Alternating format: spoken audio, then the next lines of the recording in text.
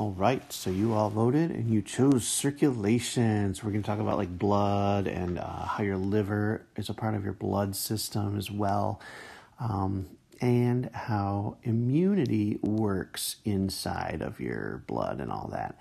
Um, so first, let's talk about uh, circulation. Sure you've heard this word with respect to the circulatory system.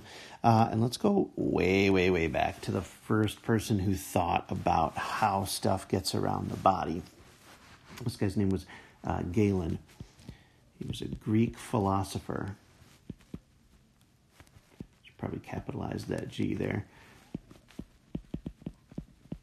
He was a Greek philosopher, and he thought that veins, so he was able to identify veins, but they pumped what he called natural blood, which came from the liver. Now, if I was to say natural blood right now, we would have 20 different definitions by that.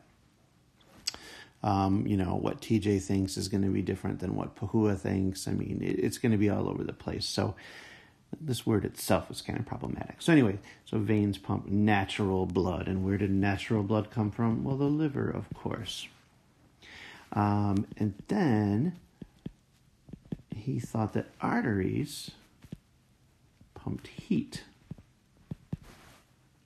Now, this is pretty wrong this is pretty wrong. Um, and so this was widely believed for a long, long, long time until the 17th century. That's the 1600s. There was this guy named William Harvey. William Harvey did um, a lot of experiments and, and cutting into things and figured out that this is not how it happens. That arteries and veins are connected to each other.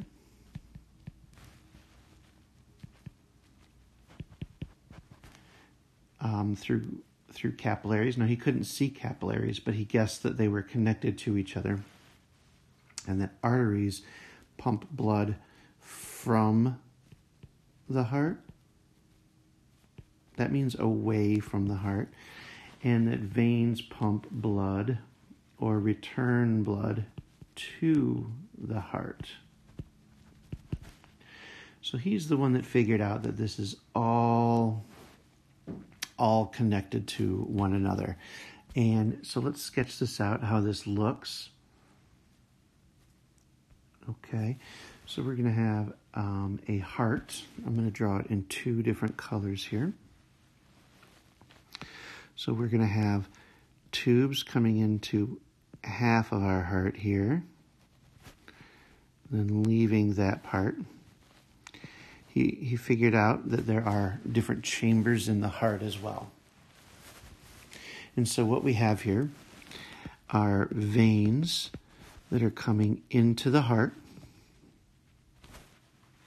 And these veins are coming from the body all over the body. And they come into here. This is the right side of the heart. On our drawing, it's going to look like the left, but when we consider anatomy and body parts, we have to think about um, that particular part. And then the blood leaves the heart through arteries and goes over to the lungs. Now that's where this blood picks up oxygen. And when it comes back to the heart, once again in veins, it comes into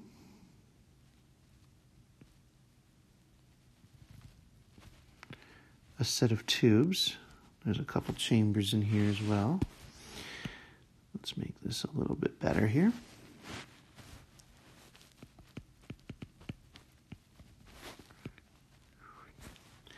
And this blood then leaves the heart through arteries again, where it goes out to the body and comes back. So he figured out this whole circulation aspect of it. So the heart, he figured out, has four chambers. one, two, three, and four. Calls these chambers of the heart. These are places where the blood pools and gathers for a minute before it's pumped out. Um, one and three are what is known as, are what is known bleh, together as atria. Uh, singular, those are atriums. So singular is an atrium, and all the blood from the veins comes into these atria. And then two and four are very strong muscular parts of the heart called ventricles.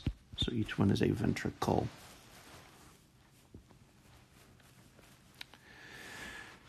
Uh, these do the pumps.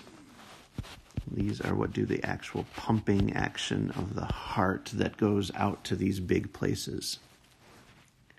So there's a name for these two sides of circulation here.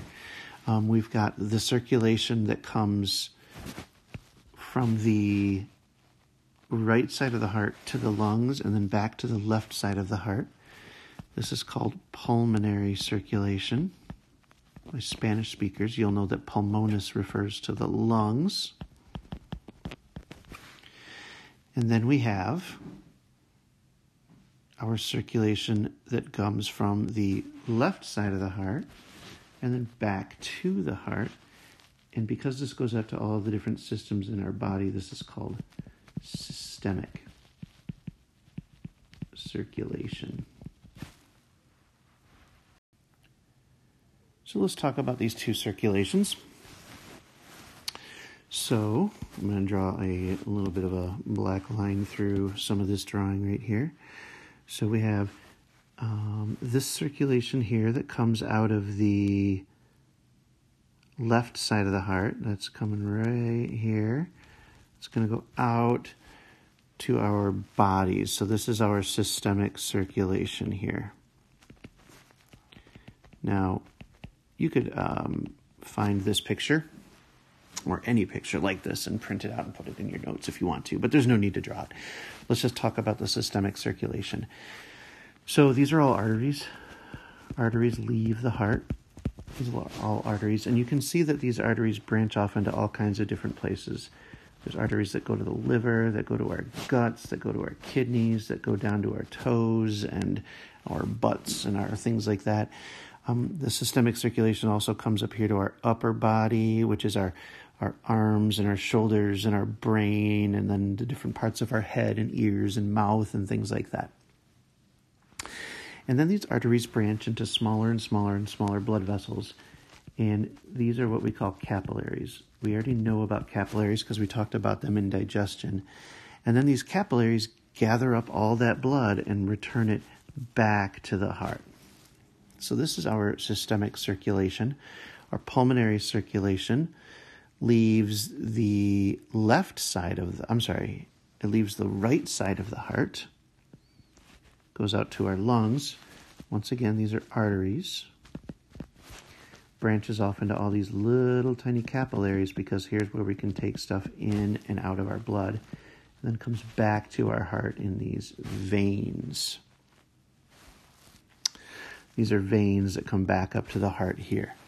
So let's take a couple minutes here and let's talk about these three kinds of blood vessels here. We have arteries, veins, and capillaries. Okay. Um, I'm going to make a little sketch of each of these um, our arteries and our veins, let's make them about the same size so that we can compare different parts to them. Arteries have really small insides compared to veins, which have much larger insides. You might remember that the inside of a tube is called a lumen.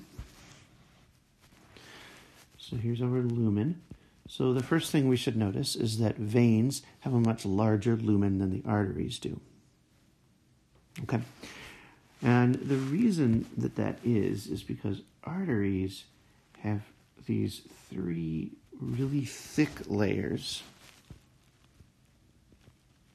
on the outside of them, and veins have the same three layers. I almost can't even draw them on this picture. Have the same three layers, but they are much, much, much thinner. They are much, much, much thinner. So let's um, label what these are. When we'll label them on the artery, and they'll be the same on the vein as well. So we have this thick layer of um, connective collagen fibers. Thick layer of connective collagen fibers. And the reason that there's these thick layer of connective collagen fibers is because the artery operates at a really high pressure.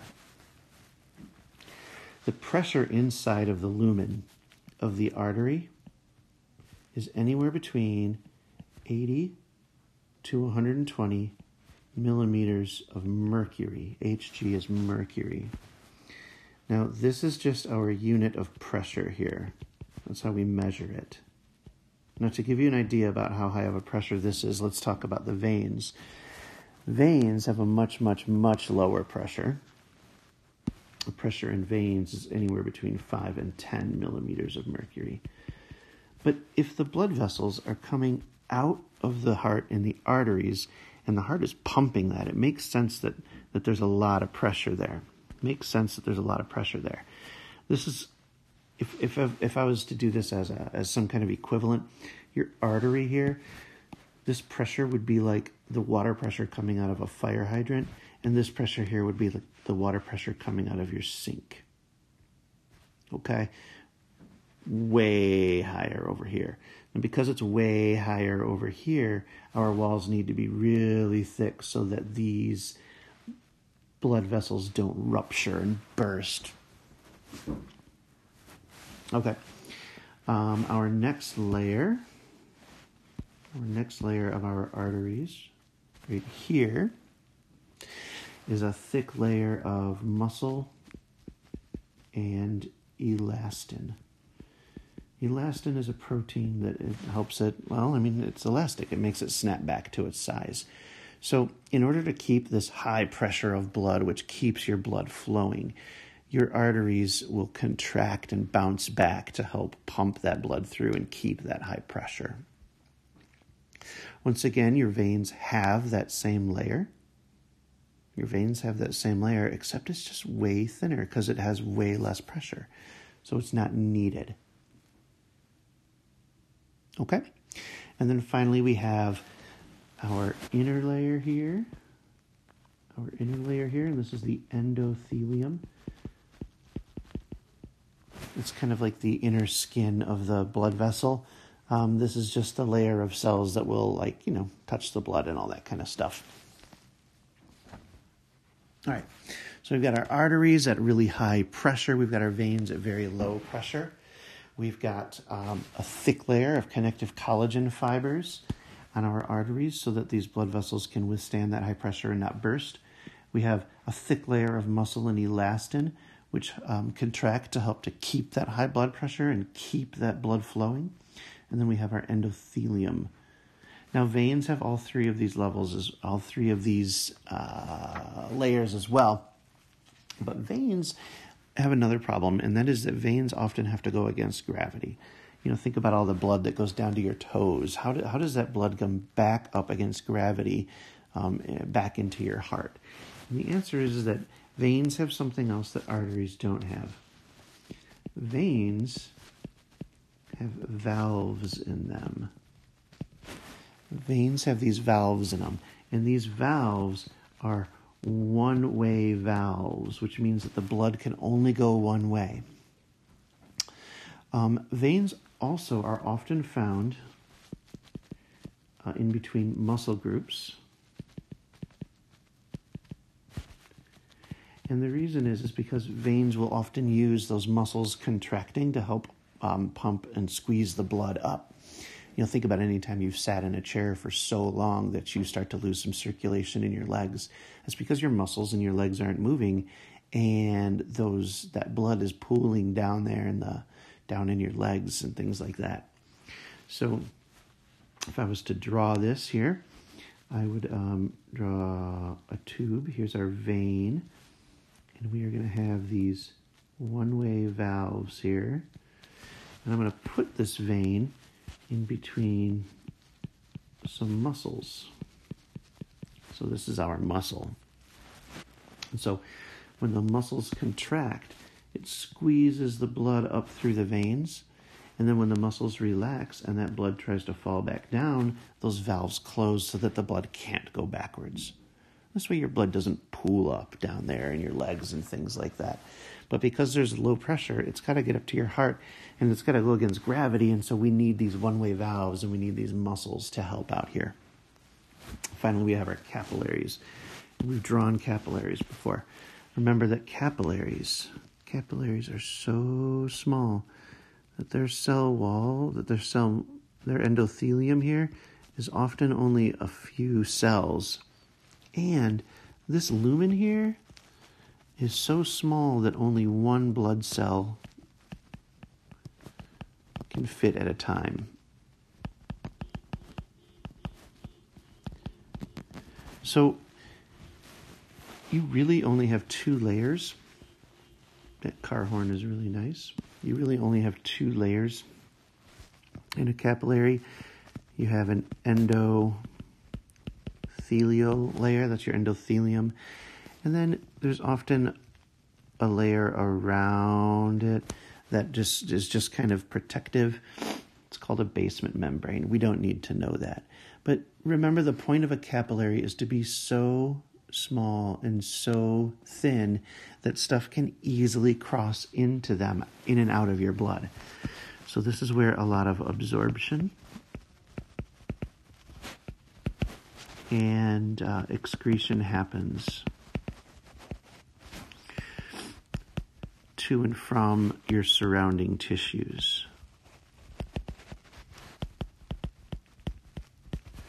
So think about our picture up here. Um, over here in your kidneys, you want to get rid of a bunch of waste from your blood.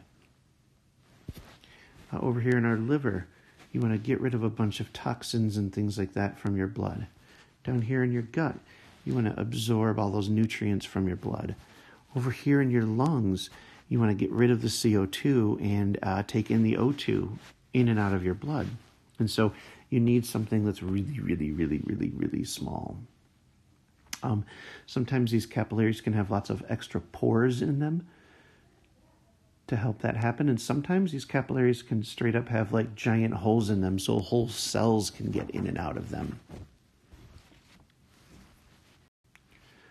So here's a great picture that shows how that happens inside of your capillaries. Um, when you have really high pressure, at the artery end of it. Um, it makes it easier for things to go out of the blood. Uh, so fluid and things like that can exit the capillary.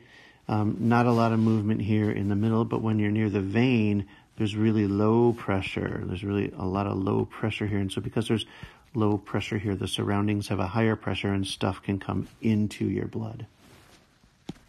And finally, last thing, here's a couple real pictures of arteries and veins. Um, you can see right here, this thick artery wall with the small lumen right here in the middle. Here's our lumen compared to our giant lumen here in this vein. Um, it's under such low pressure that the surrounding tissues can kind of squeeze it in and push it in so it loses its shape.